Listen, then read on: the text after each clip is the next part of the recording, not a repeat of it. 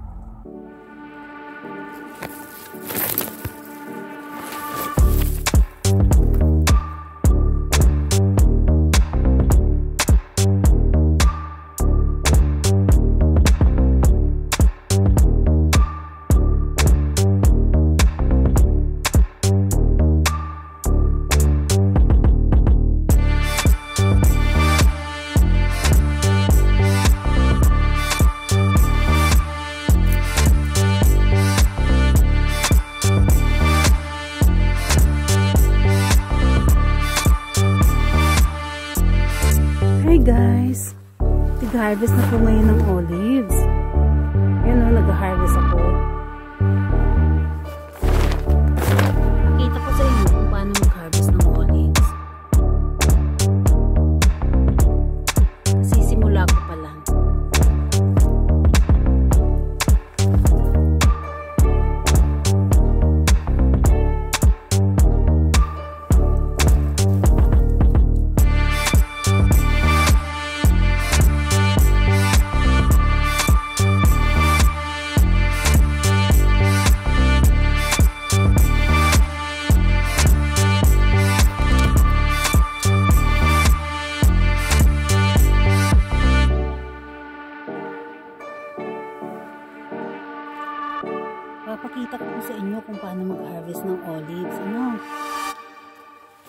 Olives na ginagawang olive oil.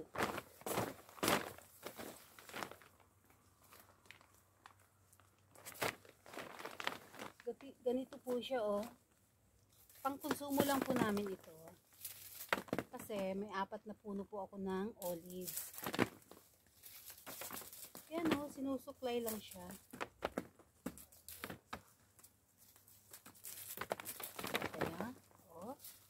yung tunog.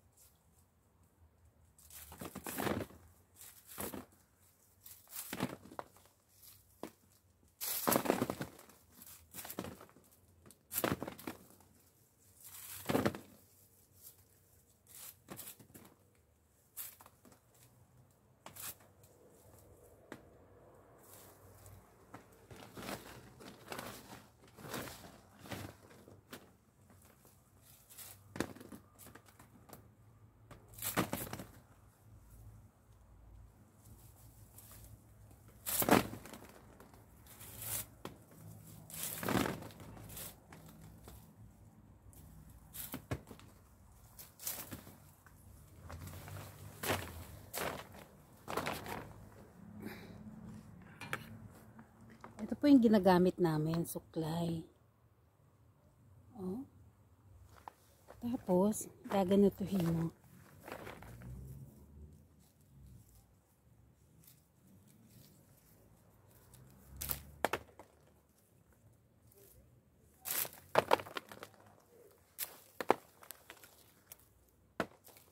Ayan, oh.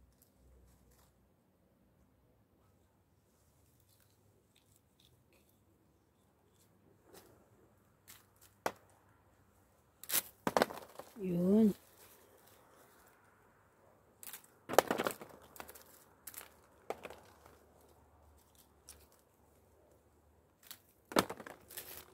Yun.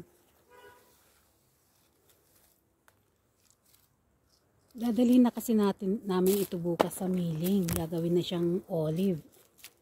Olive oil. Kaya hinarvest ko na.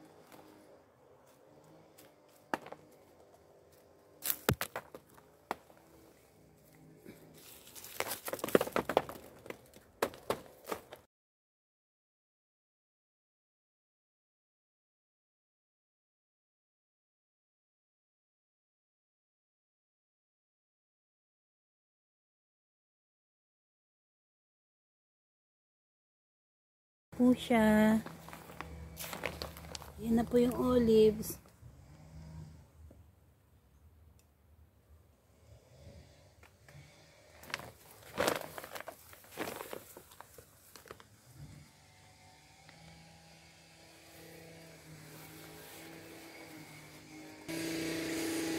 Yan, may apat na puno po kami ng olives dito sa likod ng bahay.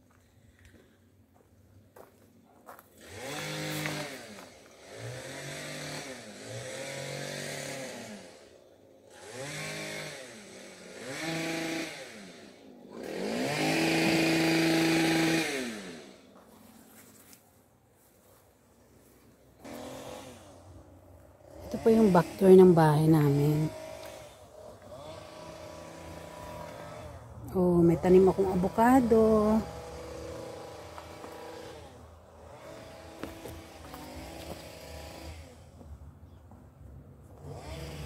May cactus.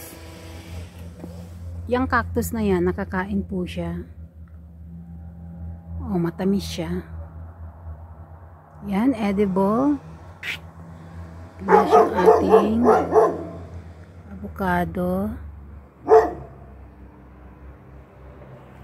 Yan yung ating olives. Meron uli dyan, dalawang puno. Meron din akong bayabas.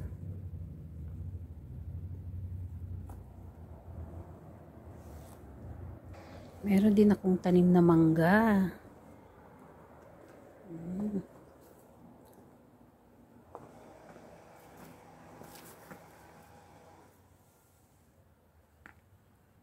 Papaya.